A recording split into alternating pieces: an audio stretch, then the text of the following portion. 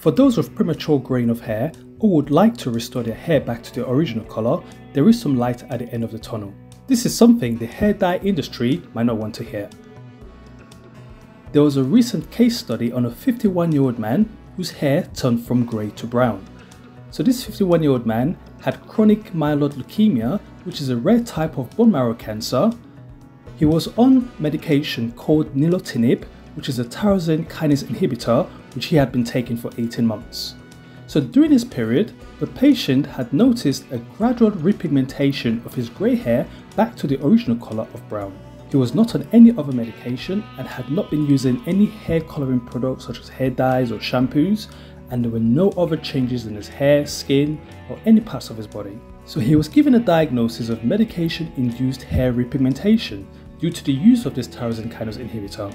However, as he was showing good response to the leukemia, the medication was continued and the patient's hair remained brown.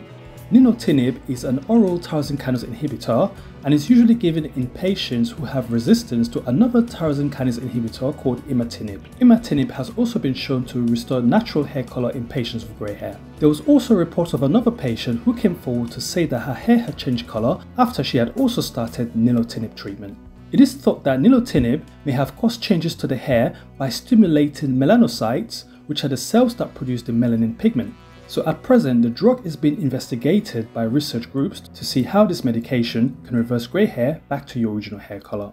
There are multiple side effects such as rashes, feeling itchy, loss of appetite, tiredness, muscle cramps, heartburn, bleeding, blood in the urine and chest pain. And in some cases, hair loss has also been reported.